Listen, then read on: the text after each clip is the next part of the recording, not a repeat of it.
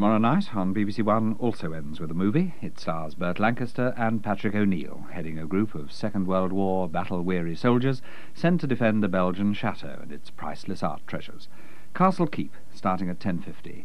And this is the complete lineup for our Saturday night. Now look at the weather. Wet and windy weather will extend across much of Northern Ireland and western Scotland overnight, leaving the rest of Britain dry with well-broken cloud. Gales are likely in exposed parts of the north on Saturday morning as the rain moves across the rest of Scotland and the far north of England. Brighter skies will follow during the day, but blustery showers will be prolonged and widespread over northwest Scotland. Showery rain will cross Wales and the rest of northern England in the afternoon, but many remaining southern parts are expected to stay dry with only isolated showers. It will be a warmer day despite the strong winds, and over much of southeast England and East Anglia the temperature will reach 25 centigrade, that's 77 Fahrenheit. Well, we've already endured a long weekend, and Saturday's hardly started.